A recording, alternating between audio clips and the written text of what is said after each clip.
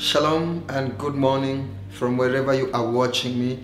My name is Prophet Tatiro of the Grace Christian Church International under Pastor Philip Odongo. I welcome you to our Divine Path today as you wake up in the name of Jesus Christ of Nazareth.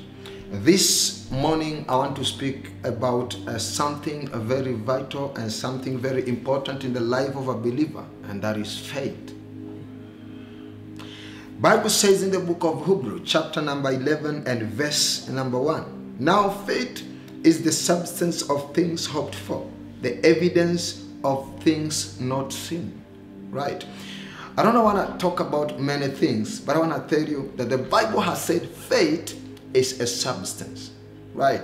And all of you understand that a substance is tangible, a substance can be seen, and a substance can be witnessed with whoever speaks about it. So the Bible tells, the writer tells us that faith is a substance. Many people uh, understand faith from a point of it is only a belief. But you must also understand that faith is a substance. How is it a substance? The Bible said it's a substance of things hoped for. Right? Things that you cannot see. So when you become a man of faith, when you, you, your faith is equipped, when your faith is grown, when your faith has reached to a level that you can see the things that you want tomorrow in the realm of the spirit and be able to download them to the to manifest in the physical then you have reached a level of saying that faith is a substance failure to which you have not reached the level yet God said in the book of Genesis, chapter number one, that He has given us the power to take dominion over all the things of the earth. Right? And here Hebrew tells us that faith is a substance. So this is a faith for dominion. You must reach a level where you can take a dominion of territories, take a dominion of things that which you desire, of things that which you see. As a believer, you must be very sharp in mind to be able to see things, see opportunities, and be in a position to claim them by faith through prayer and begin to position yourself that you will see them materialize in your life. Mm. So, Genesis chapter number 1 and verse number 26, we go there quickly. The Bible says, Genesis 1 verse number 26. Bible says, And God said, Let us make man in our own image, after our likeness. And it says, And let them have dominion over the fish of the sea, and over the fowl of the air, and over the cattle, and over all the earth, and over every creeping thing that creeps upon the earth. Verse number 27 says, So God created man in his own image. In the image of God, he created.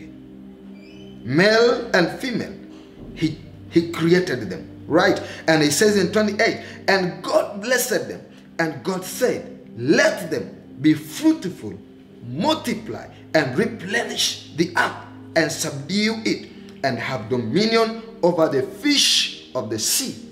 Right? So in verse number 26, God tells us what He has given us. What has He given us?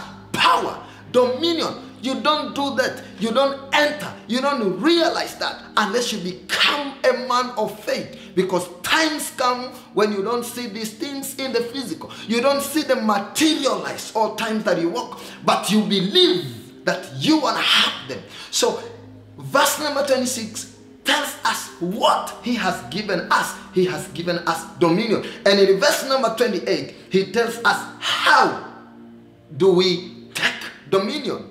Okay, he says, You be fruitful and you multiply.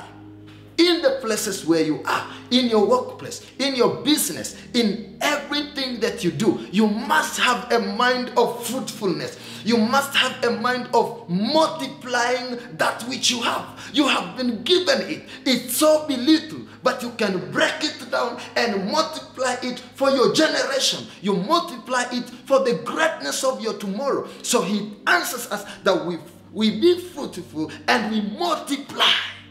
It takes faith. So you must lift up your faith today.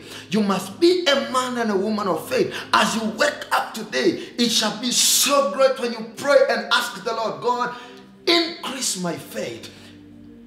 God, usher me into believing you, knowing that there are things I do not by now. There are things I do not see in the physical, but already because they are substances, you can be able to download them, multiply them, break them down, multiply them, and take dominion, subdue them, take dominion, come over, rise over, begin to live a life that the Lord intended you to be.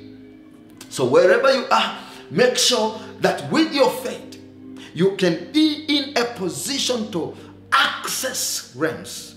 See those things that you want.